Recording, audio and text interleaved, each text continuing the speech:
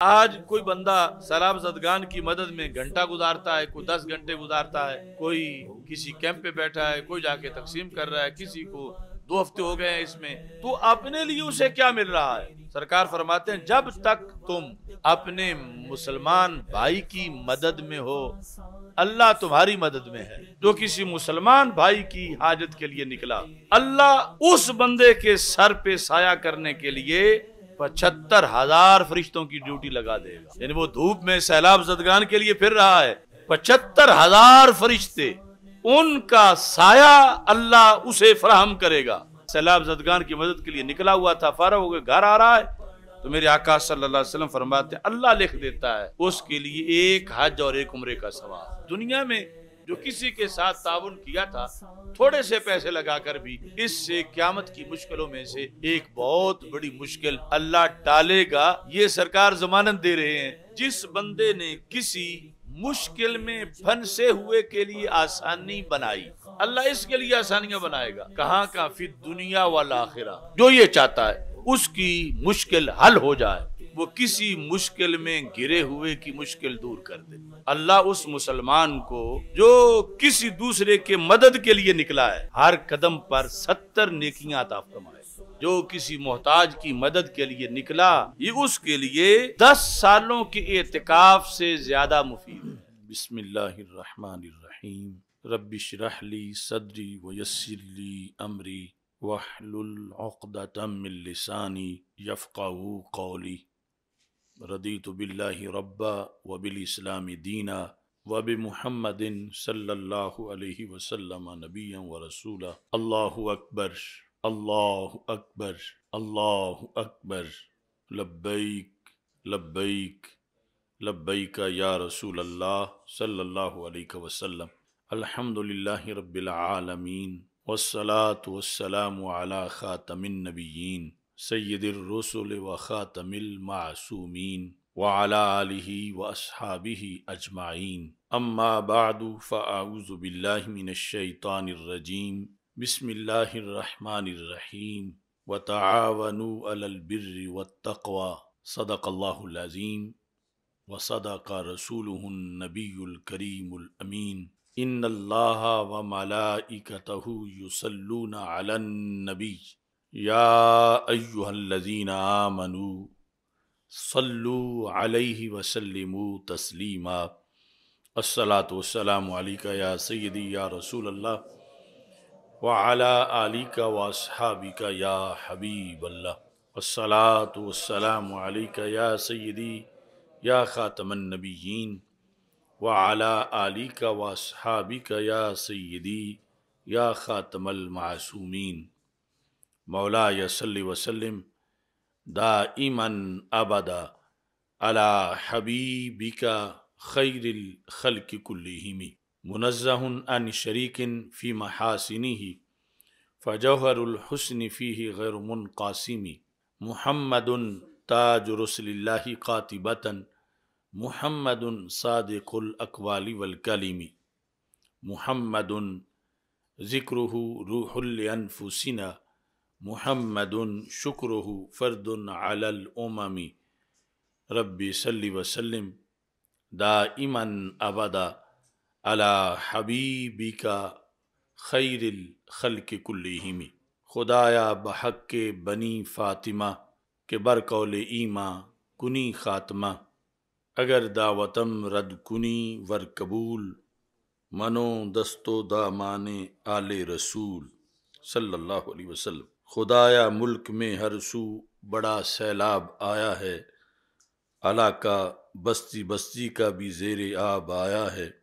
खुदाया मेहरबानी से बचा ले अपने बंदों को के पानी शक्ल तूफ़ा में सुए अहबाब आया है।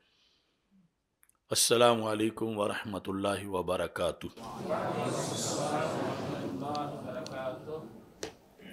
रबाल की हमदो सना और सैदुलमरसलिन हज़रत महमद मुस्तफ़ा अलैहि वसल्लम के दरबार गौरबार में दरुदोसलाम का नजराना पेश करने के बाद तहरीक लब्बैक या रसूल अल्लाह सल्लल्लाहु अलैहि वसल्लम और तहरीक सिरात मुस्तकीम के ज़ेर तमाम आज मरकज़ सिरात मुस्तकीम ताजबाग में इमदाद उम्मत कॉन्फ्रेंस का इनका किया जा रहा है।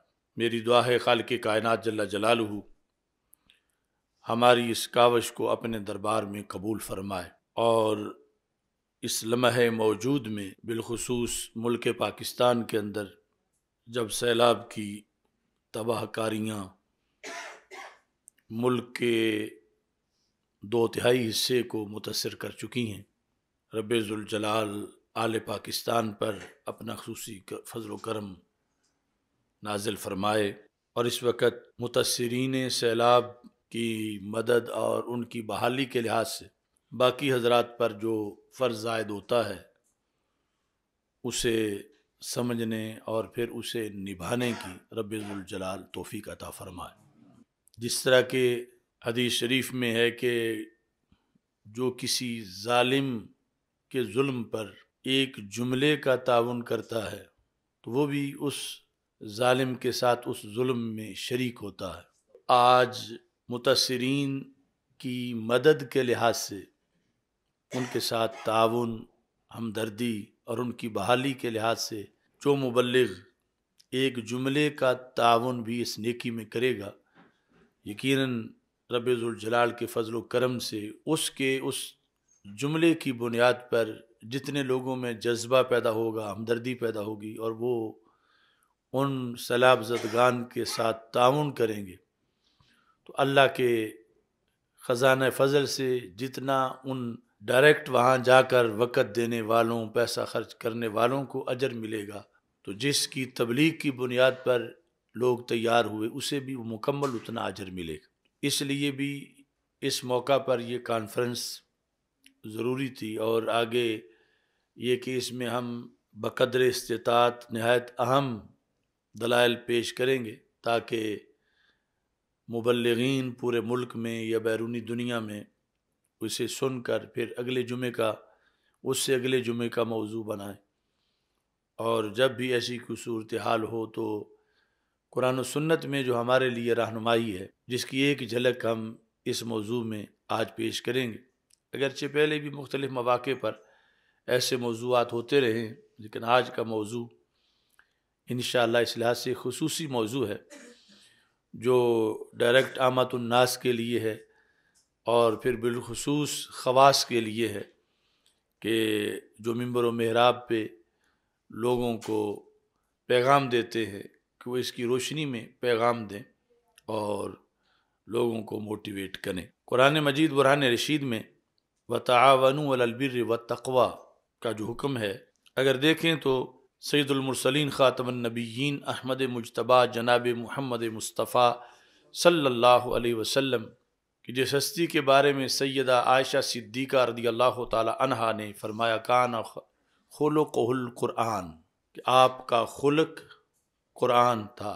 और लफ्ज़ खुलक की जो अरबी ज़ुबान में डेफिनेशन उसके मुताबिक ये है कि कुरान पर अमल रसूल पाक वसल्लम की जबिल्लत खिलकत और तबीयत का हिस्सा था। यानी कुरान नाजिल तो बाद में हुआ, लेकिन उसके जो मतालब और मफाहिम और मकासद थे, रसूल पाक अलैहि वसल्लम की हस्ती उस पर पहले ही अमल पैरा थी और वो आपके लिए यूँ था कि जैसे मिजाज होता है, जिस मजाज पर आपकी तख्लीक हुई और दुनिया में जलवा अफरोज हुए। यानी वक्त विलादत ही वो सब कुछ आपकी हस्ती में मौजूद था। इसी बुनियाद पर जो ऐलान नबू से पहले की आपकी ज़िंदगी है, उस ज़िंदगी का जो खुलासा हज़रत उम्मिन सैदा खदीरतुल्कुबरा रदी अल्लाह तहा ने बयान किया, जबकि हमारे आका सल्लल्लाहु अलैहि वसल्लम पहली वाही के नजूल के बाद हिरा से घर तशरीफ़ ले गए। तो अब उस वक़्त जो गुफ्तगु हज़रत उमिन ने की, यकीनन वो उनसे पहले के जो हालात थे उनके सामने थे।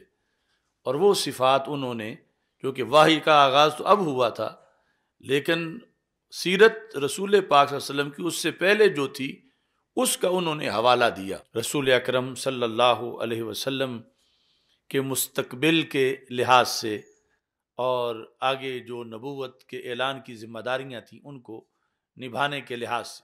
तो वो सारी गुफ्तगु बुखारी शरीफ के बिल्कुल आगाज़ में हदीस नंबर चार के अंदर और सफ़ा नंबर अठारह पर मौजूद है। फ़कालत खदीजा तो कल्ला वल्ला मा युखजी कल्लाह अबादा। अल्लाह आपको कभी परेशान नहीं करेगा। इन्ना का लतासिलुर्रहिमा क्योंकि आप तो वो ज़ात हैं जो सिला रेमी फरमाते हैं। तो मतलब ये सिला रेमी का अमल पहले, ऐलान नबो से पहले कई साल वो देख चुकी थी अपनी आँखों से। कि आप सिला रहमी फरमाते हैं?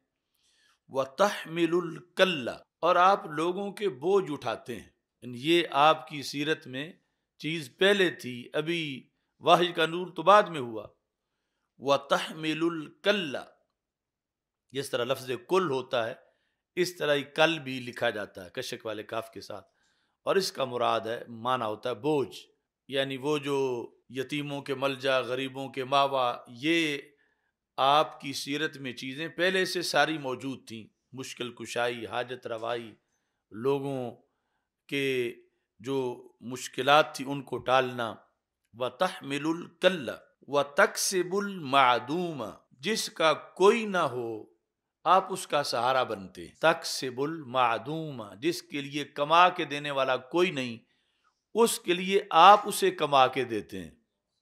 उसके लिए आप मुआमिन बनते हैं।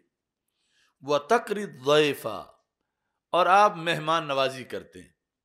ये सारी सिफतें शुरू से जो मौजूद थी एलान नबूत से पहले का वो पस मंज़र बयान कर रही। और आज के मौजू के लिहाज से खसूसी तौर पर ये जुमला था, व तुईन अला नवाइबिल हक तुईन, आप मुआविन बनते हैं, आप मददगार बनते हैं।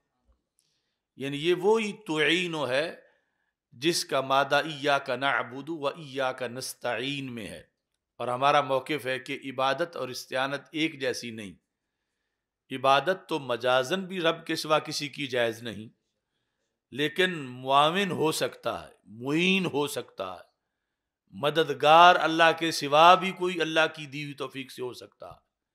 मुश्किल कुशा और हाजत रवा, उसकी दी दिए हुए इज़न से और ज़ात भी बन सकती है। तो तुईन, आप एनत फरमाते हैं।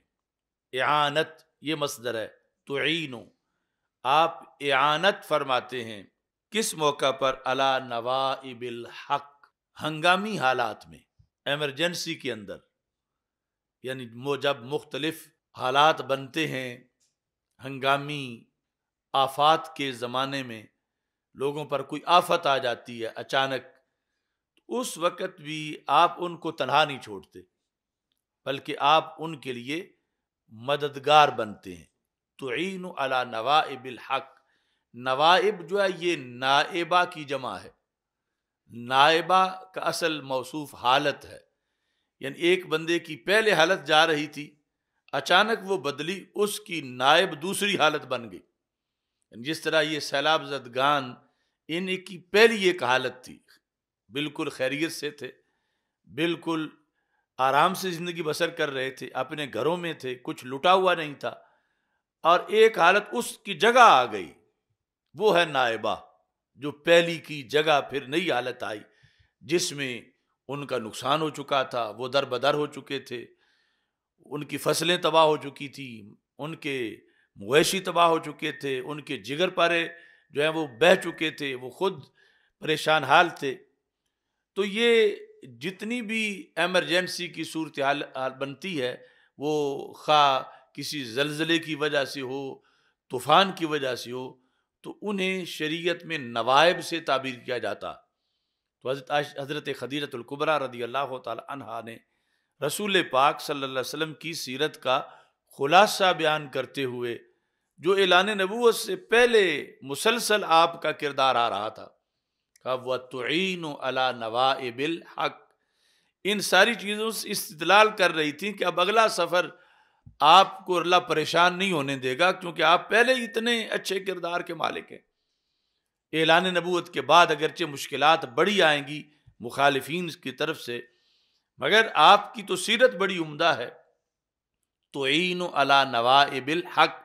हक से मुराद है अल्लाह की तरफ़ से जो हालात बन जाते हैं हंगामी तौर पर किसी की मदद के लिहाज से।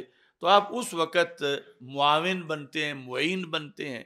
मददगार बनते हैं, लोगों के दुख सुख में शरीक होते हैं तो ये उम्मत मुसलिमा के लिए सीरत रसूल अलैहि वसल्लम का एक खसूसी गोशा है कि हमारे आका अलैहि वसल्लम आपके लाखों करोड़ों मरातब हैं, फजीलतें हैं, शाने हैं ओदे हैं, जो तेरे तो वसफ़ ऐब तनाही से हैं बरी हैरान हूँ मेरे शाह क्या क्या कहूँ तुझे?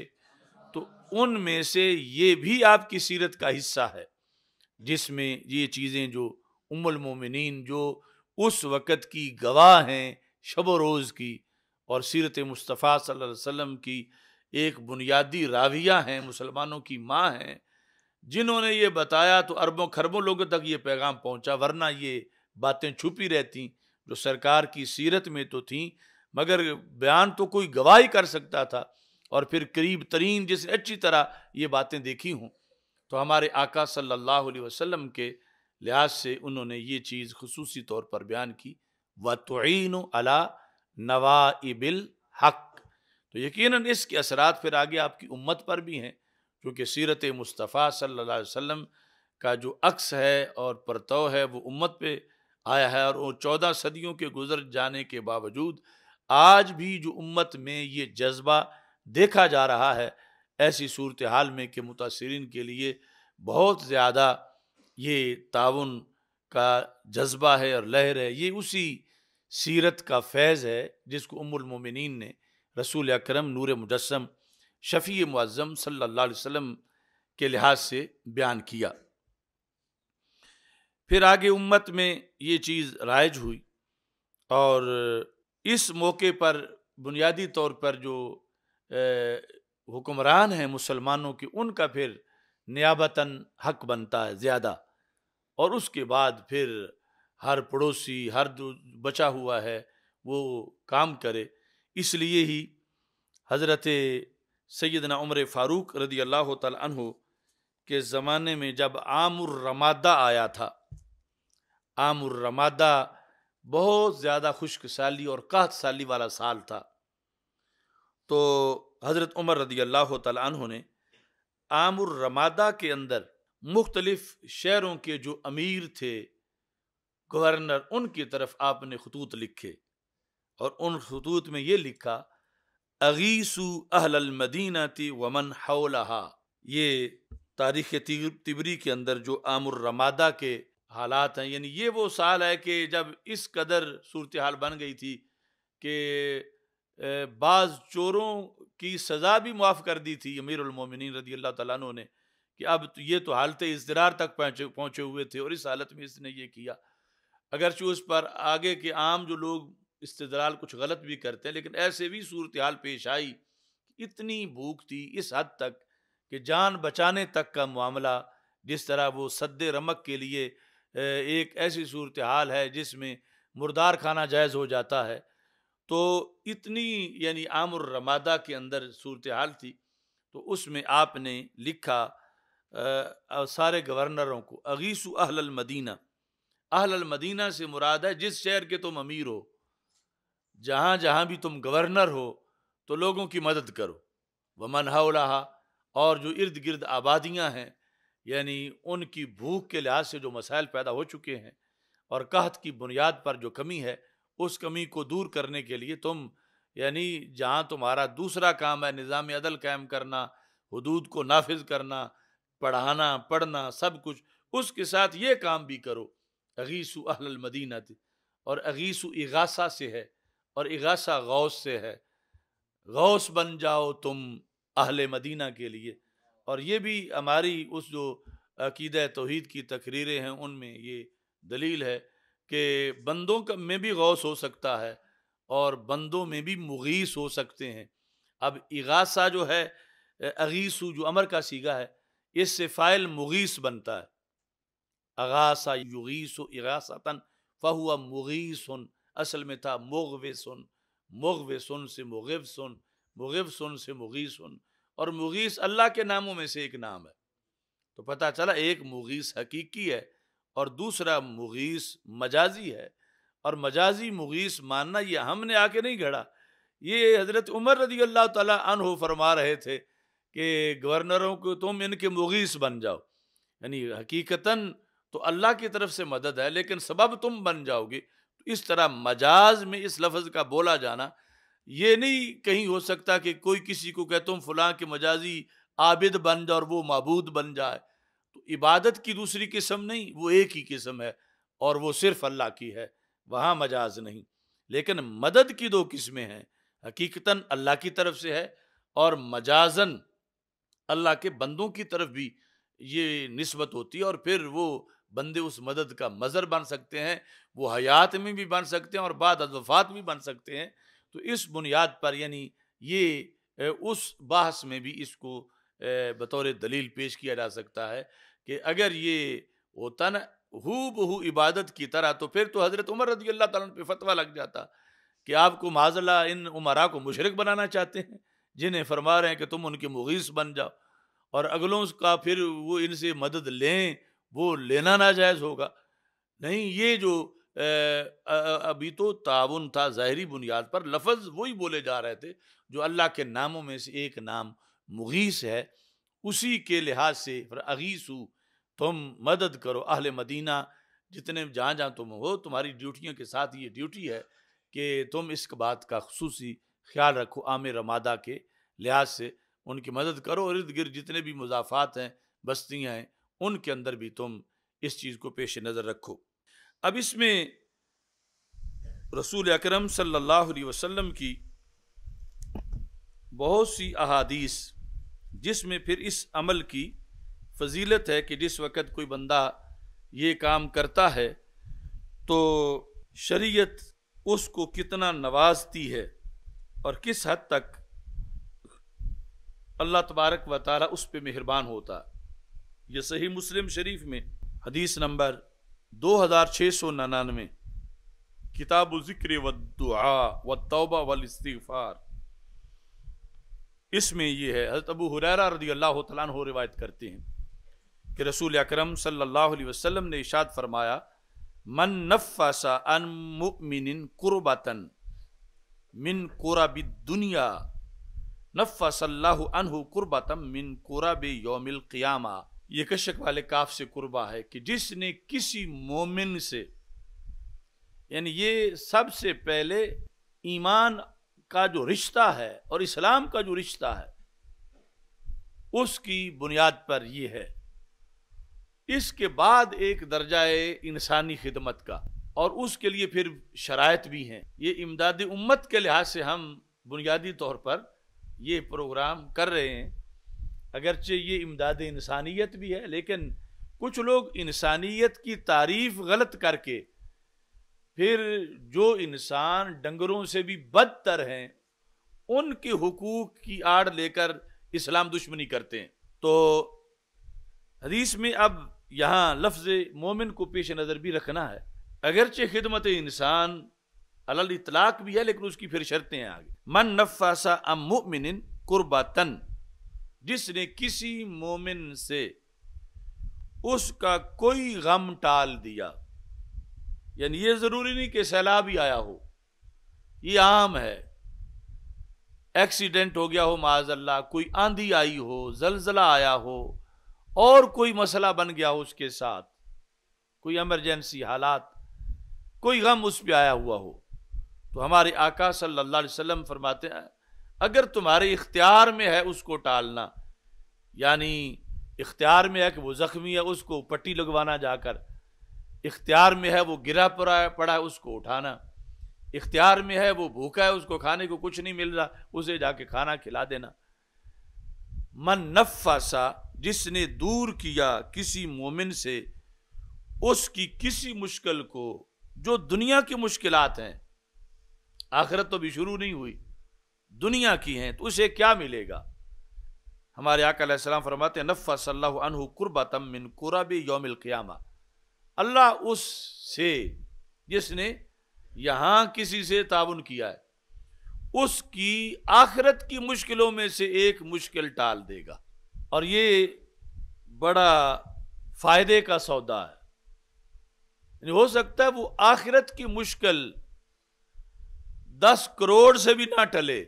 अगर बतौर फ़र्ज़ तुम्हारे पास हो क्यामत के दिन, और दुनिया में वो जिस बंदे की मुश्किल बनी थी, वो दस रुपए से टल जाए तो दस रुपए से वो मुश्किल टाल के, वो दस करोड़ से भारी मुश्किल टलवा लेना तो ये कितनी अक्लमंदी है, और कितना फ़ायदा है, और कितना इसके लिए मुफीद है जिसने उसको सौ रुपया दे के पट्टी लगवाई है, या उसकी सलाह में मदद कर दी है, इसने तो थोड़ा सा काम करके अपना बड़ा करवा लिया है।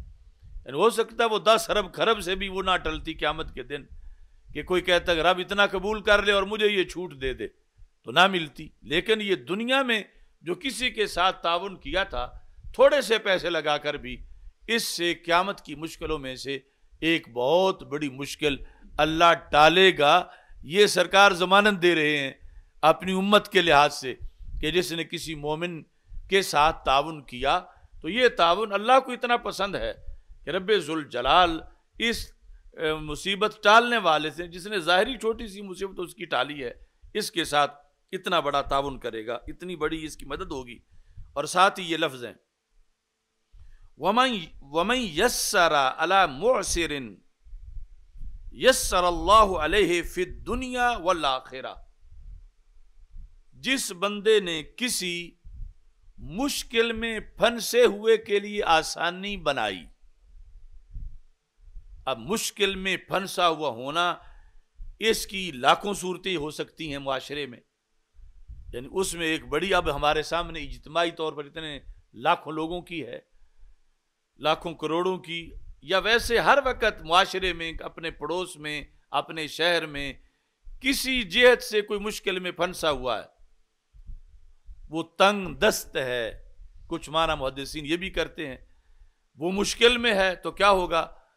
अल्लाह उसके लिए, जिसने उस बंदे को आसानियाँ दी, किसी लिहाज से आसानियाँ दी, अल्लाह इसके लिए आसानियाँ बनाएगा। कहाँ कहाँ फिर दुनिया वाला आखिरा। सिर्फ़ आखिरत की नहीं, दुनिया की भी आसानियाँ बनाएगा।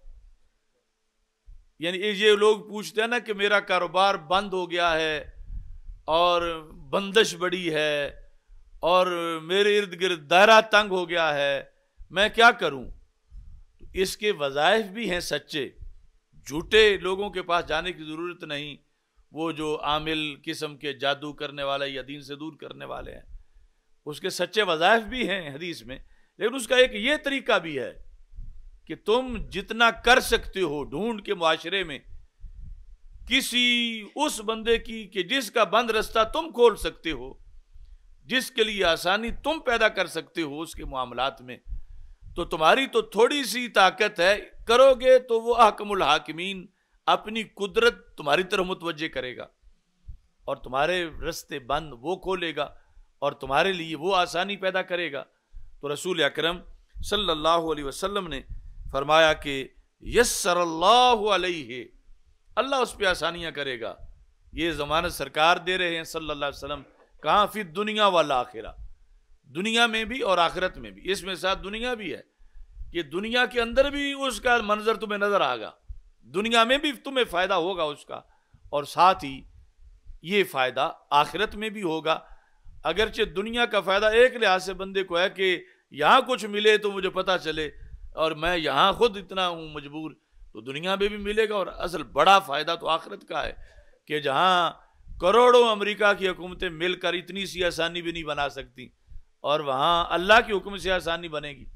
और अल्लाह ताला फरमाता है, सरकार वसल्लम फरमाते हैं कि अल्लाह उसके लिए आसानियाँ बना देगा।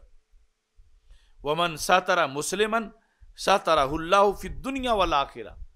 जिसने किसी मुसलमान की पर्दापोशी की दुनिया में, अल्लाह उसकी दुनिया में भी पर्दापोशी करेगा और आखिरत में भी पर्दापोशी करेगा। यानी ये भी मुआशरे के अंदर एक बहुत बड़ा किरदार है जिस पर बहुत बड़ा अजर आगे क़्यामत के दिन और दुनिया में मिलने वाला है। और साथ ही हमारे आका सल्लल्लाहु अलैहि वसल्लम का ये फरमान आज कोई बंदा सैलाब जदगान की मदद में घंटा गुजारता है कोई दस घंटे गुजारता है ए, कोई किसी कैंप पे बैठा है कोई जाके तकसीम कर रहा है किसी को दो हफ़्ते हो गए हैं इसमें कोई फिर पानी में डूब के उनकी साथ पानी में जा के मदद कर रहा है तो अपने लिए उसे क्या मिल रहा है? तो हदीस का खुलासा है, उस वो जितनी भी उनके लिए करे, उसे जो अल्लाह की तरफ़ से मिल रहा है, उसके मुकाबले में ये तो बिल्कुल थोड़ा है। वल्लाह फ़ी आउन अब्द माकान अब्द फ़ी आउन अखी है ये फिर व ईया का ना नाबुद व ईया का नस्ताइन उसमें जो लफ्ज़, औन से आनत है, उस मजाज की भी दलील है कि ये ऐसा नहीं है कि ये अगर इतलाक जायज़ ना होता तो सरकार इतलाक ना फरमाते कि जब तक तुम अपने मोमिन भाई की औन में हो, अब औन में होना ये जायज़ है तो फिर ही फरमाया। अगर मुतलकन नस्तीन इबादत की तरह हो तो फिर तो इन लफ्ज़ों पर भी एतराज़ हो जाए। तो इबादत, मदद और इबादत में फ़र्क है, इबादत मजाजी भी किसी की जायज़ नहीं, लेकिन एनत जायज़ है। सरकार फरमाते हैं, जब तक तुम, जिस वक़्त तक, घंटा, दस घंटे, दस दिन, महीना, जितना, जितनी देर तक तुम अपने मुसलमान भाई की मदद में हो, अल्लाह तुम्हारी मदद में है। तो ये कितना बड़ा प्रॉफिट है कि अपनी इसकी सलाहियतें तो छोटी सी हैं। इसने अपना मदद का वज़न भाई के पलड़े में डाला और अल्लाह की मदद इसकी तरफ़ आ गई। और ये जलाल के महबूब सल्लल्लाहु अलैहि वसल्लम फरमा रहे हैं, मा कान लब्दो, जब तक जितने महीने, जितने साल, जितने मिनट, जितने घंटे, मा कान अब्दो फ़ी ओन अखी है, अपने भाई, यानी वही मुस्लिम भाई की मदद में है। वल्लाह फ़ी ओन अब्द, मा कान अब्दो फ़ी ओन अखी है। तो अल्लाह इसकी मदद में उसकी कोई कमी नहीं, यानी वो चाहे तो सैलाब आए ही नहीं, और आए तो कोई डूबे ही नहीं, और अगर डूबने लगे तो वो कुन कहे तो सारी बस्तियाँ खुश्क हो जाएँ, पानी सब छट जाए, वो किसी का मोहताज नहीं। उसे कोई कमज़ोरी नहीं। उसका एक अमरे कुन काफ़ी है। यानी जितना दे वक़्त कुन कहने में लगता है रफ्ज कुन, इससे थोड़े में वो सब की मुश्किल हल कर दे। ये उसकी कुदरत है। लेकिन वो बंदे बंदों की मुश्किल हल करें। उधर थोड़ा सा करेंगे, मुझसे ज़्यादा ले लेंगे। तो मतलब यह है कि ये जिन पर सैलाब नहीं आया हुआ, इनका फ़ायदा इसमें ज़्यादा हो रहा है कि उधर दस रुपए देंगे, दस मिनट देंगे थोड़ा सा वक्त निकालेंगे और अल्लाह की कुदरत जिस तरफ़ मुतवजह हो जाए तो ये लफ्ज हैं कि हमारे आका सल्लल्लाहु अलैहि वसल्लम फरमाते हैं, वल्लाह फ़ी औन अब्द अल्लाह बंदे की मदद में है। माँ का नब्दो फियोन अखी, जब तक बंदा अपने भाई की मदद में है। तो ये, जो ये कहता है कि मेरी मदद नहीं अल्लाह की तरफ़ से हो रही तो उसका भी ये नुस्खा है कि तुम इनकी मदद करो तो अल्लाह की मदद हो जाएगी। कि सरकार दो आलम सल्ला वसल्लम इसकी ज़मानत दे रहे हैं। और ये, यानी इस हदीस को पेश नज़र रखते हुए फिर ये मफहूम बनता है कि एक बंदे को जब पता चले कि फलान मदद का मोहताज है तो वो जल्दी करे, कहीं कोई दूसरा उसकी कर जाए। कि जो कुछ मुझे मिलना था, इतनी मुझे ज़रूरत मत को वो दूसरा कोई ना ले जाए। तो इस मजमून के लिहाज से मुसनद इमाम अहमद में एक हदीस शरीफ है। जिल्द नंबर दो, मुसनद इमाम अहमद। और ये भी रूहानियत का बड़ा वजीफा यानी आज लोग कहते हैं, हमारी दुआएँ कबूल नहीं होती। तो रसूल पाक सल्लल्लाहु अलैहि वसल्लम ने दुआओं के कबूल होने का भी नुस्खा बताया। यहाँ हज़रत अब्दुल्ला बिन उमर रदी अल्लाह तहो से रवायत है, जिल्द नंबर दो, सफ़ा नंबर दो सौ तिहत्तर पर कहते हैं कि रसूल अल्लाह सल्लल्लाहु अलैहि वसल्लम ने इशाद फरमाया, मन अरादा अन तुस तजाब जो ये चाहता है कि उसकी दुआ कबूल हो जाए। अब कोई ऐसा है जो नहीं चाहता? हर बंदे ही चाहता है ना कि उसकी दुआ कबूल हो जाए। ये है रहमत आलम सल्लल्लाहु अलैहि वसल्लम के। आज अगर ये हदीस ना होती तो हम तो अब पूछ ही नहीं सकते थे, ना सरकार से मुलाकात हुई, ना हो सकती है अब। वो ज़ाहरी ज़माना तो गुजर गया। ख्वाब के दरवाजे ही हैं, लेकिन अहकाम तो उस पे, जहर पे मुरतब होते हैं। तो मेरी आका सल्लल्लाहु अलैहि वसल्लम सारी हसरतें उम्मत की पूरी करके गए। मन अरादा, जो ये इरादा करता है। नंबर एक, अन तुस तजाबा दावत कि उसकी दावत कबूल हो जाए। दावत है दुआ। उसकी दुआ, ये हर घर में हर फर्द को ज़रूरत है। कि मुझे कोई ऐसा नुस्खा बताओ, कोई ऐसा वजीफा बताओ कि मेरी दुआ कबूल हो जाए। एक ये जो ये चाहता है कि उसकी दुआ कबूल हो जाए और साथ वह अनतुक शाफा कुर्बा तो हो और उसकी मुसीबत टाल दी जाए।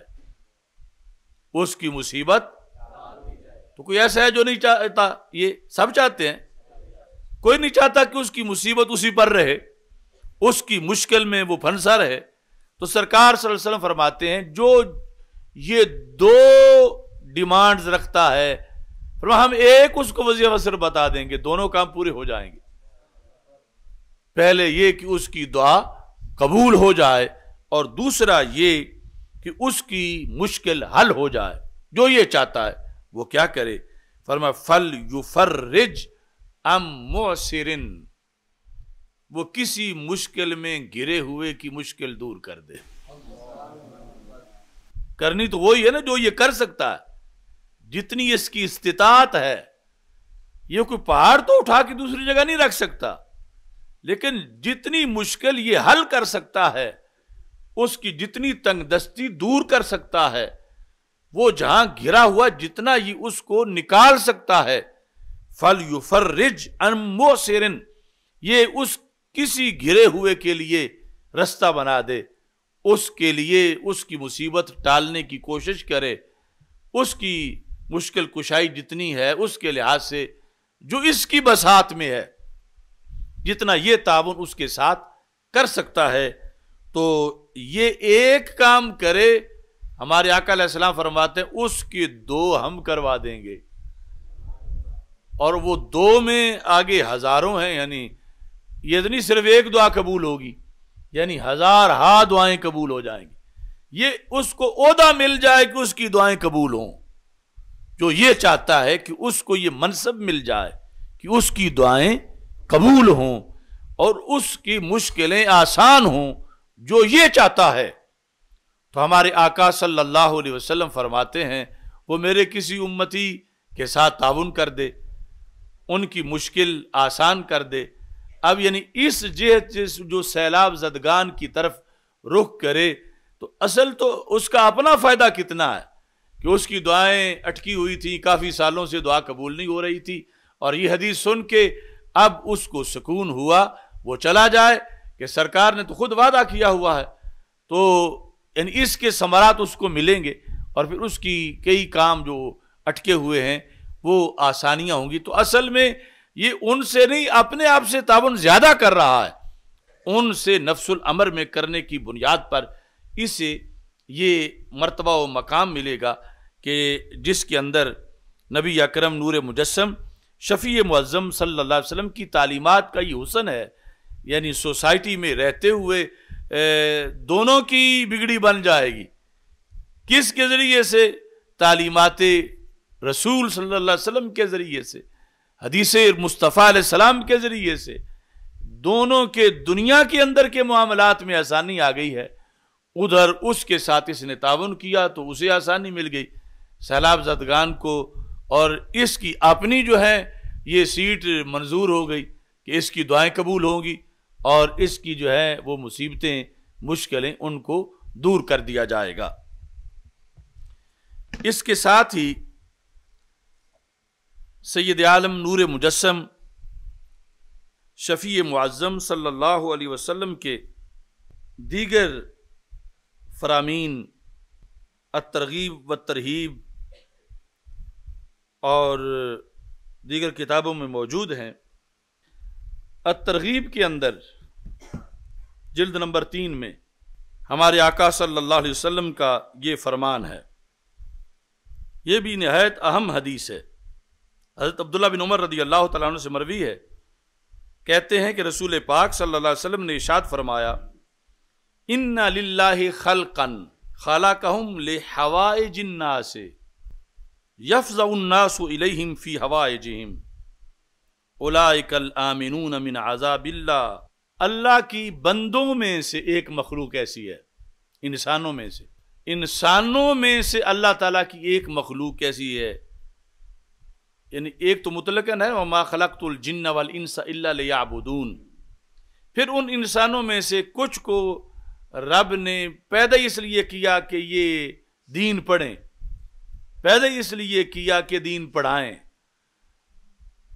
और ज़रूरी नहीं कि जिस मकसद के लिए पैदा किया हो, अगला जो है वो उस पर कैम भी रहे। बहरहाल कुछ लोगों की वजह ही इसलिए है, उनकी तखलीक इसलिए है कि वो ये काम करें।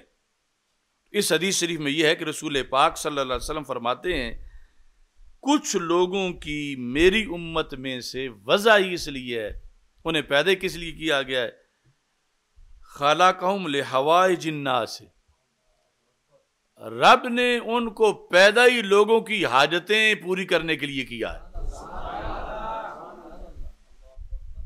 वो पैदा ही इसलिए हुए हैं ले हवाए जिन्ना से लोगों की हाजात पूरी करने के लिए। अब ये भी एतकादी तौर पर वो अकीदा तोहीद में भी, यानी हवाए जिन नाज अब एक फिरका वो ऐसा है जिनके नज़दीक किसी बंदे का हाजत पूरी करने वाला होना, ये लफ्ज बोलने से बंदा मुशरक हो जाता है। कि हाजतें तो अल्लाह पूरी करता है तो मैंने बंदों में हाजत रवा बनाए हुए हैं। तो हदीस बताती है, कुछ बंदे रब पैदा ही इसलिए करता है वो होते ही दाता हैं। अब फतवा किस चीज़ पे लगाएँगे? ले हवाए जिन्ना से कि वो लोगों की हाजतें पूरी करें। वो अल्लाह ने पैदा ही उनको इसलिए किया कि वो लोगों की हाजतें पूरी करें। अब जाहिरी ज़िंदगी में यानी उनकी तबीयत है वो आ, सोशल वर्कर हैं जिसका जो कुछ कहीं हो वो पहुँच जाते हैं। वहाँ तावन शुरू कर देते हैं। कुछ लोगों को, अब वो कौन हैं, वो कहाँ हैं, ये अलहदा है। लेकिन एक तबका हर जमाने में, ज़िंदा लोगों में भी ऐसा है कि जिनको रब ने पैदा ही इसलिए किया है, तखलीक अल्लाह के काम मुअल्लल बिलगराज नहीं होते, गर्जें अल्लाह के शायान शान नहीं हैं, लेकिन हिकमतें ज़रूर हैं। कि अल्लाह ने उनको पैदा इस हिकमत के लिए किया है। किसके लिए? हवाए जिन्ना से। लोगों की हाजतें पूरी करने के लिए। तो फिर सरकार फरमाते हैं इलहिम फ़ी हवाइजहिम जो हाजतमंद है, वो उनको पहचान भी जाते हैं। इलहिम। लोग घबरा के उनके पास जाते हैं। ये है यफजाउ बड़ी घबराहट में उनके दरवाजे पे पहुँचते हैं। बड़े सताए हुए, मुश्किल में फंसे हुए, घबराए हुए।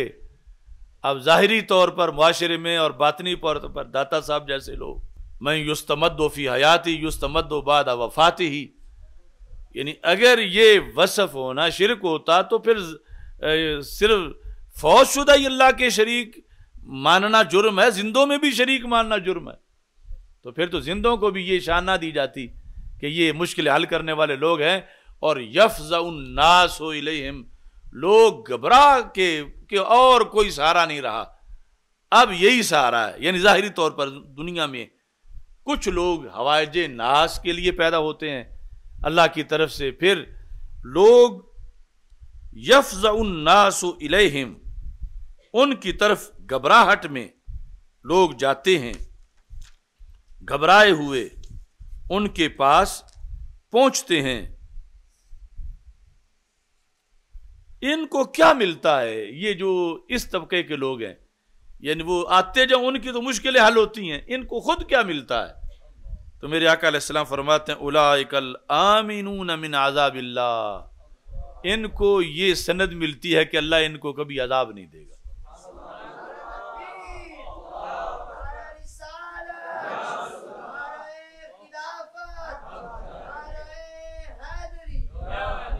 उलाकल आमिनून मिन आजाबिल्ला ये मामून रहेंगे, इन्हें अजाब नहीं होगा। अब ये ज़रूरी नहीं कोई आलम दीन हो, कोई हाफज कुरान हो, दुनिया में बज़ाहिर उसका शोबा दुनियादारी है। वो किसान है, वो काश्तकार है, कोई दुकानदार है, कोई मजदूर है, कोई लोग ये समझते हैं कि ये मुश्किल हल करवा सकता है, यानी दुनिया के लिहाज से।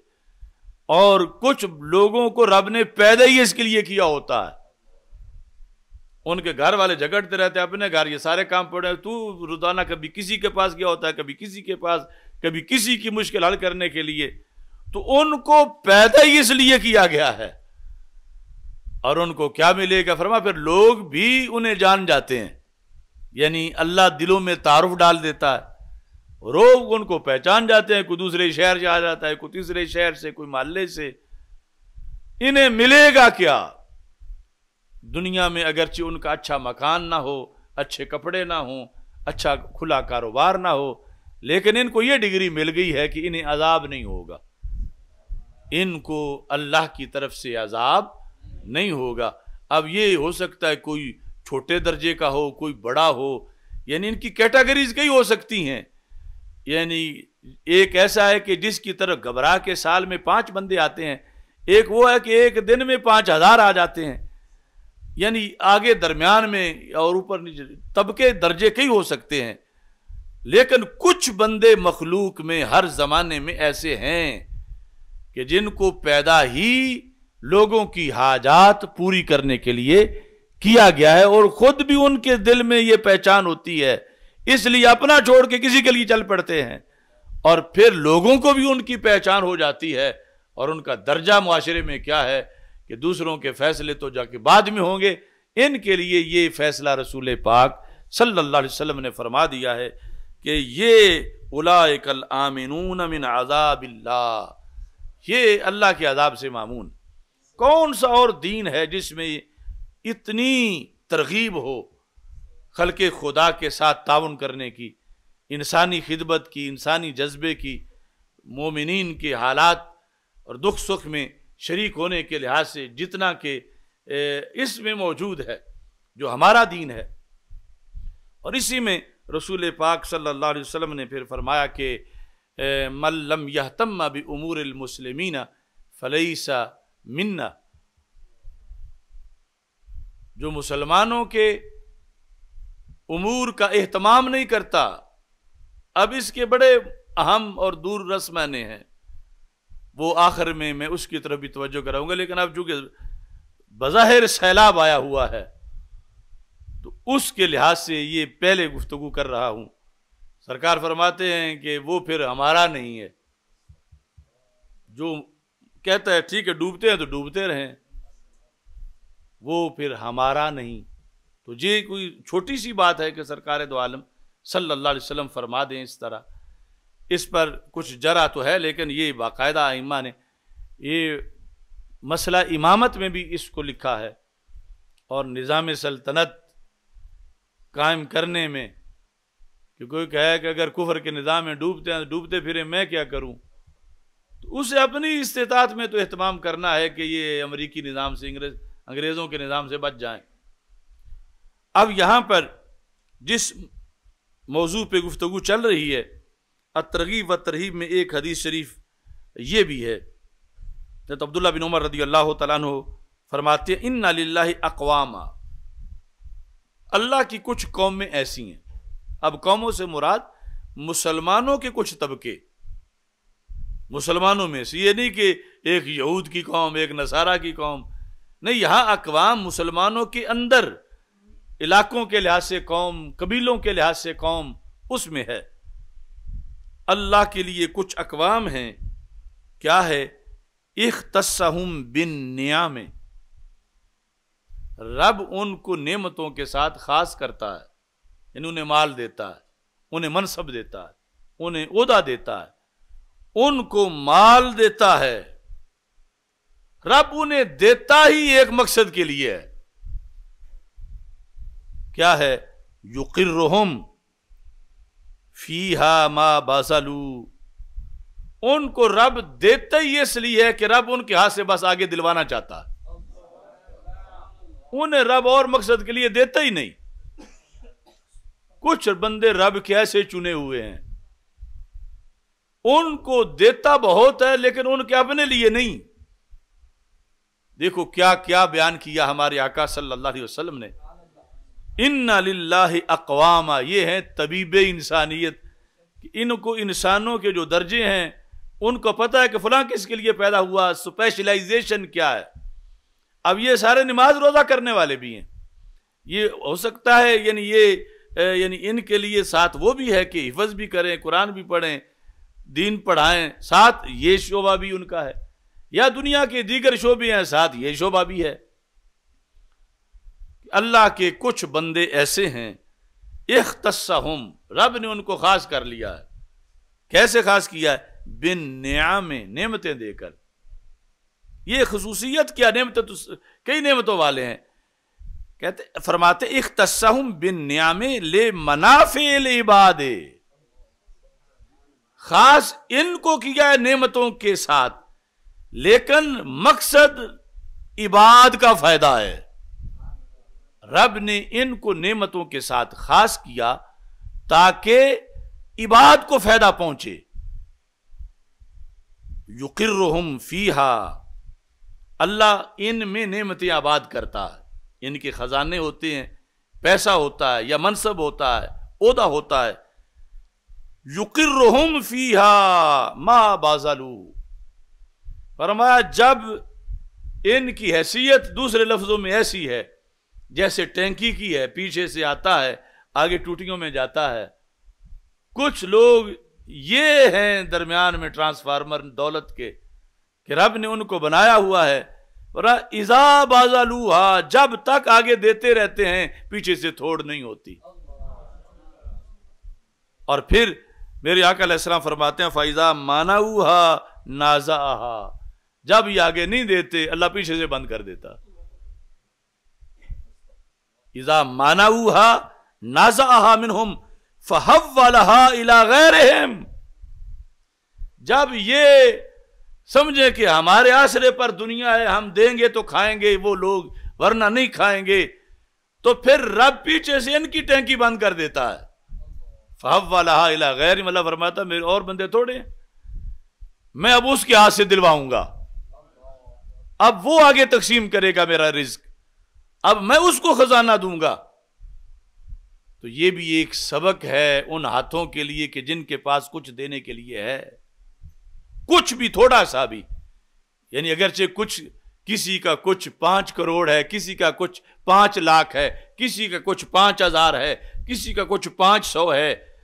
यानी वो ये समझे कि अल्लाह ने ये जो पीछे मेरे पास आ रहा है इसकी बका इसमें है कि मैं आगे दूँ। यानी खुद इस्तेमाल करते हुए जहर है कि बाल बच्चे का भी तुझे खर्चा रखना है। जायज़ जराए से आ रहा है।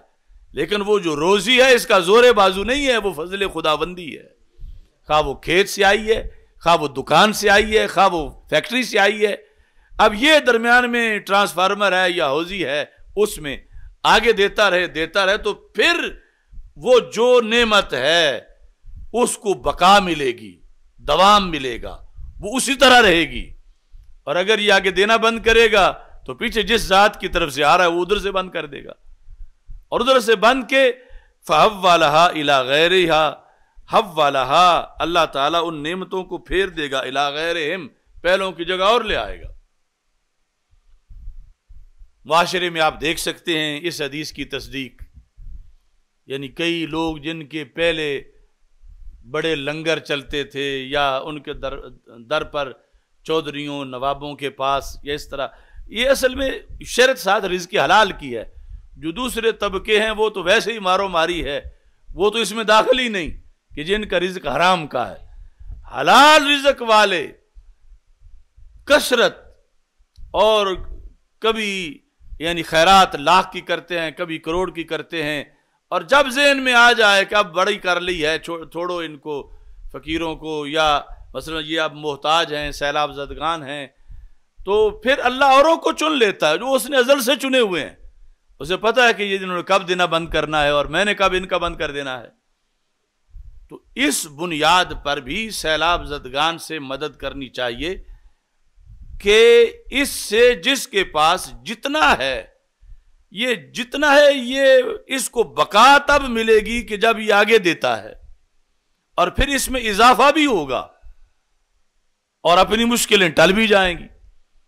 तो एक अब हमारे तबके में कुछ लोगों की तावीज़ लेने की यह वजह होती है कि हमारा रिजक महफूज हो जाए, हमारे पास जो नेमतें हैं, कोई छीन ना ले। तो उसका एक तरीका, जो नबवी तरीका है, बड़े तरीकों में से एक तरीका, वो ये है कि रबेजुल जलाल की तरफ़ से सब कुछ है, तुम्हारा कोई ज़ोर बाजू नहीं है।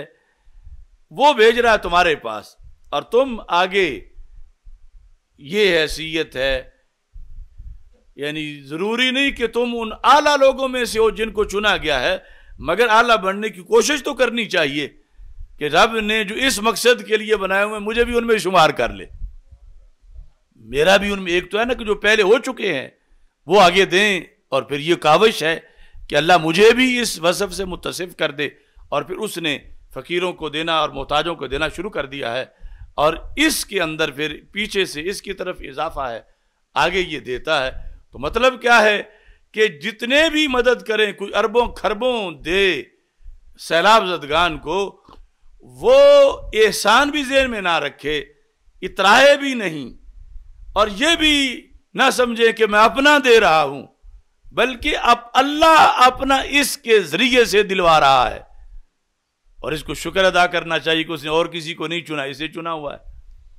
और वो जब चुनाव बदलता है तो बदल भी देता है।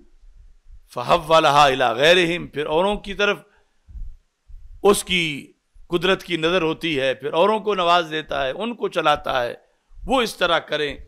या हवाइज नास सिर्फ़ एक चीज़ नहीं, लाखों चीज़ें हैं। तो ये रौनक और कसरत और बरकत और उसकी बका जो है, उसके लिए ज़रूरी है कि जब रब ने तुझे ऐसा बनाया है तो उसका शुक्र अदा करो। शुक्र अदा करने का मतलब है कि आगे वो जारी रखो। दूसरी तरफ़ ये ही एक आलिम, एक फाजिल, एक हाफिज उसके लिहाज से है कि रब ने तुम्हें इसका ये फजल दिया है तो आगे पढ़ाओ, आगे तैयार करो। और आगे तुम पढ़ाना बंद कर दोगे तो अल्लाह पीछे से देना बंद कर देगा। यानी कितने हैं हमने पढ़े हुए जाहिल बनते देखे कि पढ़ के पढ़ाया नहीं था, मुदर्रिस नहीं बने थे, दुनिया के शोबों में रल गए, मिल गए थे। तो वो भी तो एक बहुत बड़ी हाजत है कि जाहिल को आलिम बनाना। उसकी हाजत पूरी करो, लोग आ जाते हैं तो उन्हें पढ़ाओ। हाजत पूरी करो क्योंकि अगर पूरी करोगे तो तुम्हारा अपना इल्म उसको बका मिल जाएगी। अल्लाह उसको छीनेगा नहीं। और अगर नहीं पढ़ाओगे तो छीन लेगा। फिर वो अल्लाह किसी और जगह मुंतकिल कर देगा। अब कितने बड़े बड़े ओलामा के बेटे अब किसी पे तनज नहीं, लेकिन जाहिल बैठे हैं। और कितने किसानों और मजदूरों के बेटे आलिम बैठे हैं। तो फिर रब ने मुंतकिल कर दिया कि तुमने नहीं पढ़ाना तो रब ने तो निज़ाम चलाना है। अल्लाह ने औरों को भेज दिया। अब कितनी जगह तारीखी ताले लगे हुए हैं। उल्लू बोल रहे हैं उन मराकज में कि पढ़ने वाला कोई नहीं, पढ़ाने वाला कोई नहीं। तो ये तो सरकार दो आलम पहले फरमा गए थे कि रब चुनता है और फिर जब आगे नाशुक्री हो, वो काम ना किया जाए तो वो पीछे से देना बंद कर देता है। फिर उधर क्यों रौनक हो, उधर क्यों बरकत हो, उधर को क्यों जाए? इस वास्ते कि उन्होंने वो जो हक था, जिसकी वजह से वो मनसब बाकी रहना था, वो रौनक बाकी रहनी थी, वो मनसब पूरा नहीं किया, वो तो अल्लाह ताला ने वो और की तरफ़ फेर दिया यानी उसकी मखलूक वसी है और वो तिनके से काम लेना चाहे तो उससे भी ले ले। तो यहाँ चूँकि हर हदीस में आगे फिर महीनों की बहस है तो हम सिर्फ़ इस वक्त का जो मौजू है, उसकी तरफ़ जा रहे हैं। तो पता चला कि ये देते हुए कोई एहसान नहीं, बल्कि बका है। अपनी दौलत की बका, अपने मनसब की बका। वो जो सलाहियत है, मुश्किल कुशाई की, उसकी बका। और फिर इसमें अगला मर्तबा यह है कि ये जो देने के लिए किसी के पास माल है ना, ये एक क्वेश्चन पेपर है। ये एक आजमाइश है, ये एक इम्तिहान है। उनका नहीं, उनको मौज जिनके पास पैसा देला भी नहीं। ये उसकी है कि जिसके पास लाखों करोड़ों अरबों हैं। ये उसकी एक दुनिया में अलहदा आजमाइश है। और फिर जिसके पास जितना बड़ा मर्तबा है, अब सैलाब में जो फंसे, उनकी तो अपनी आजमाइश है। और बलावर हाउस वालों की अपनी आजमाइश है। जाति उमरा वालों की अपनी जमान पार्क वालों की अपनी, बनीगाला वालों की, हर एक की आजमाइश ही आजमाइश है।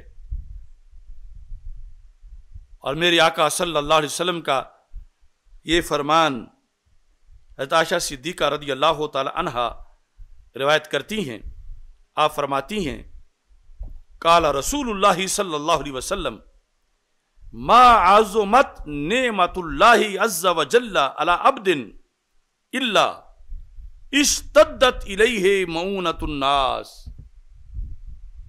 फरमाया, जिस बंदे के पास, जिस कदर अल्लाह की नेमत का साइज़ बढ़ता है, बहुत बड़ी नेमत रब ने दी। मेरे आकल सलाम फरमाते, उसी साइज़ से उस पर जो लोगों की खिदमत की बोझ की गठड़ी है उसका साइज़ भी बढ़ता है। मोहताजों की मदद की जो गठड़ी है, उस पर मऊनतुन्नास वो उसी साइज़ से बढ़ती है, जिस साइज़ से नेमत बढ़ रही है।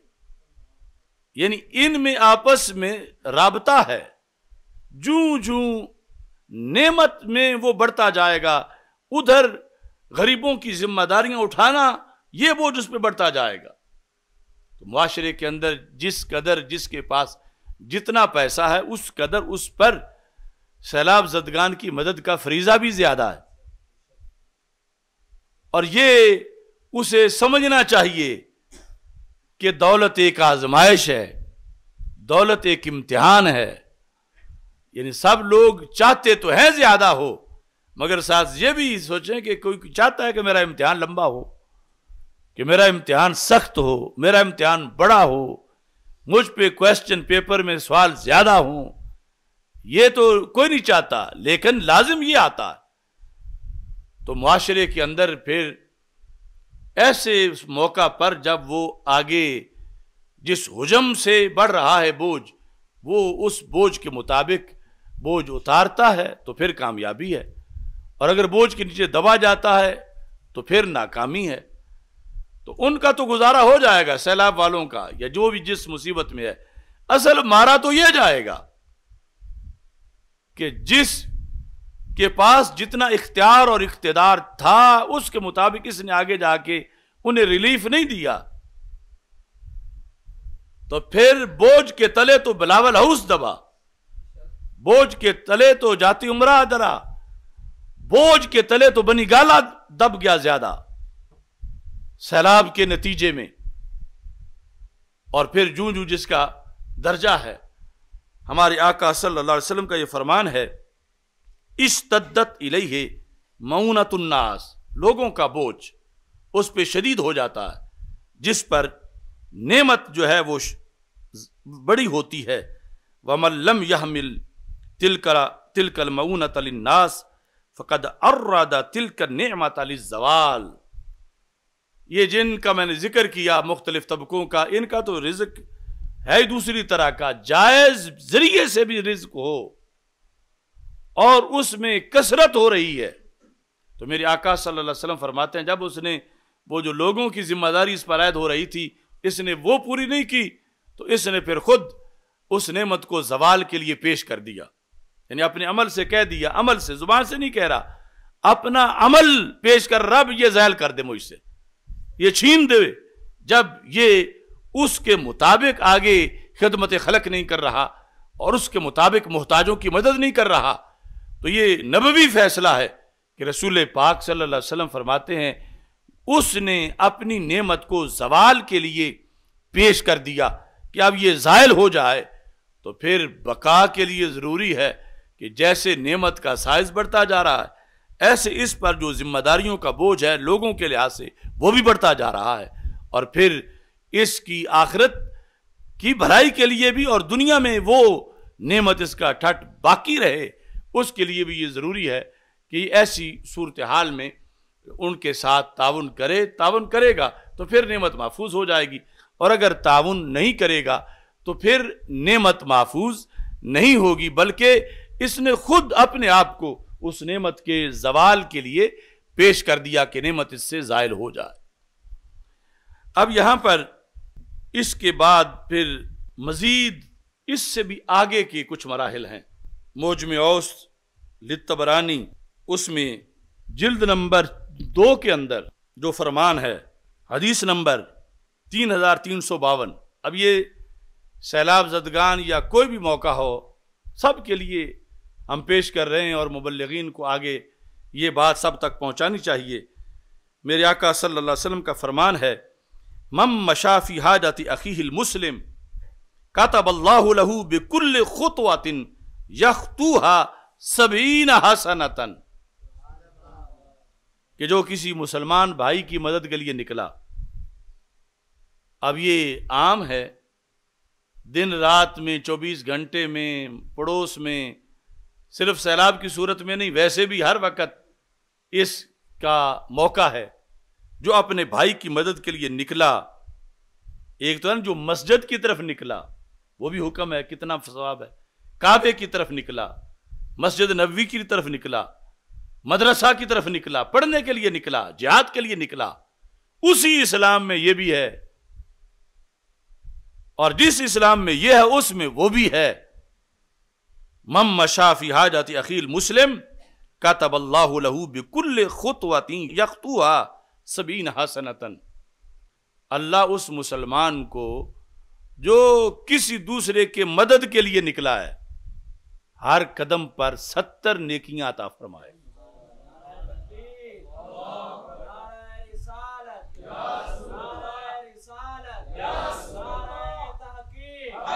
अब इसके साथ हमारे आका सल्लल्लाहु अलैहि वसल्लम का ये फरमान, हज़रत अब्दुल्ला बिन अब्बास रदी अल्लाह तु से मरवी है, जो कि मुस्तरक हाकिम में भी है तरगीब व तरहीब में भी है। मम मशाफी हाजाती अखी है, जो अपने मुसलमान भाई की हाजत के लिए निकला। अब ये लोग, यानी जो बाज़ मकाम तो ऐसे हैं कि जहाँ अपनी जान को भी खतरा है, सैलाब जदगान की मदद में, दूर दराज इलाकों में। मम मशाफी हाजती अखी है काना खैर लहू मिनतिकाफ अशर सिनीना। कि जो किसी मोहताज की मदद के लिए निकला, ये उसके लिए दस सालों के एहतिकाफ से ज़्यादा मुफीद है। दस सालों से मुराद ये नहीं कि रमज़ान के दस दिनों का, हर साल का। यानी मुसलसल दस साल एहतिकाफ करना।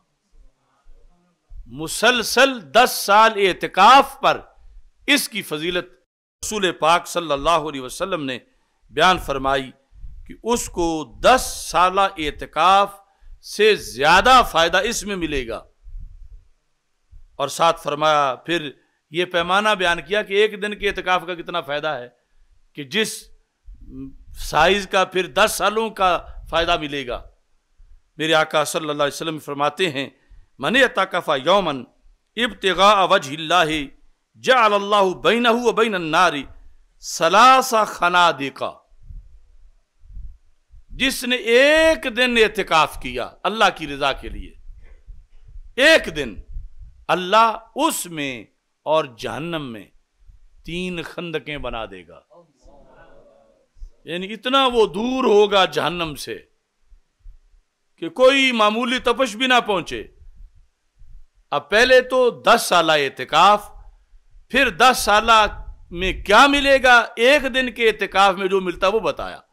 अब उस एक दिन में जो मिलता है, अभी उसकी मजीद वजाहत है कि ये जो तीन खंदके हैं, ये कितना फासला जन्म से दूरी का बनता है कि तीन खनादिक बना देगा। तो मेरे आका सल्लल्लाहु अलैहि वसल्लम फरमाते हैं, कुल्लो खंदकिन अब आदो मिम्मा बैन खाफिकैन. वो तीन खंदकों में से हर खंदक इस साइज़ की है, जितना ज़मीन से आसमान या मशरक से मगरब होता है। खाफिकैन, ज़मीन आसमान के दरमियान 500 साल का सफ़र है। इतना दरमियान में फासला एक का तो फिर तीन बनाएगा तो फिर वो कितना जन्नम से दूर है? ये एक दिन के एहतिकाफ का और इसे दस साल का मिलेगा। और निकला एक दिन है, यानी उस सैलाब जदगान की मदद के लिए या किसी मोहताज की मदद के लिए वो निकला है और उसके लिए ये अजर सवाब रसूल अकरम सल्लल्लाहु अलैहि वसल्लम ने बयान किया और यहाँ तक फिर मेरे आका सल्लल्लाहु अलैहि वसल्लम के ये भी अल्फाज हैं लई यम शिया अहदुकुम माखी है, फ़ी कदा जाते ही, अगर ये कि तुम में से कोई अपने भाई के साथ चल पड़े, चलो मैं तेरे साथ चलता हूँ, काम तेरा है, मैं तेरे साथ चलता हूँ। फिर ये क्या है? अफदालु मिन या ताकीफा फ़ी मस्जिदी हाजा शहरैन। इस तरह दो उंगलियाँ करके, दोनों उंगलियों से इशारा करके, ये लफ्जों की वीडियो है कि दो उंगलियों का इशारा करके, और ये उंगलियाँ उन उंगलियों की तरह की नहीं है। दो उंगलियों का इशारा करके मेरे आका सल्लल्लाहु अलैहि वसल्लम ने फरमाया, अल्लाह उसको मेरी मस्जिद में दो महीने एतकाफ करने का सवाब बता फरमाएगा यानी दो के लिए ये, और साथ मस्जिदी मेरी मस्जिद में, यानी मस्जिद नबी शरीफ के अंदर एतकाफ करने का, उसको रब जलाल दो महीने एहतिकाफ़ करने का सवाब अता फरमाएगा। इसमें मज़ीद रसूल अकरम नूर मुजस्म शफ़ी मुज़म सल्लल्लाहु अलैहि वसल्लम के फरामीन मौजूद हैं और उनमें तरक्की है। मैं इस तरतीब से बयान कर रहा हूँ। ये मौज में औस, जल्द नंबर तीन ये हकीकत में कई जुमों का खिताब इकट्ठा कर दिया है। 222 सफ़ा है और हदीस नंबर चार हज़ार तीन सौ छियानवे है। अबू हुरैरा रदी अल्लाह तु रवायत करते हैं और हज़रत अब्दुल्ला बिन उमर रदी अल्लाह तु दोनों। मम मशाफी हाजत अखील मुस्लिम, जो किसी मुसलमान भाई की हाजत के लिए निकला। तखम सतीम व सबीन अल्फ़ा मलकीन। अल्लाह उस बंदे के सर पे साया करने के लिए पचहत्तर हज़ार फरिश्तों की ड्यूटी लगा देगा। यानी वो धूप में सैलाब जदगान के लिए फिर रहा है। लेकिन ये ईमान बिलगैब है। अब प्रोटोकॉल तो एक फरिश्ते के लिहाज से भी बड़ा है। पचहत्तर हज़ार फरिश्ते उनका साया अल्लाह उसे फराहम करेगा। अब देखो, ये इंसान की असल में वैल्यू है। डायरेक्ट रब उन फरिश्तों को कहता तुम ही जाके मदद कर दो। तो पचहत्तर हज़ार कितनी मदद कर जाते? लेकिन रब करवा इससे रहा है। और उनको इस पर साया करने के लिए लगाया हुआ पचहत्तर हज़ार फरिश्ते इसके लिए साया करते हैं और सिर्फ़ साया ही नहीं करते। फरमा लहू इस फुमड़ के लिए दुआ भी करते हैं।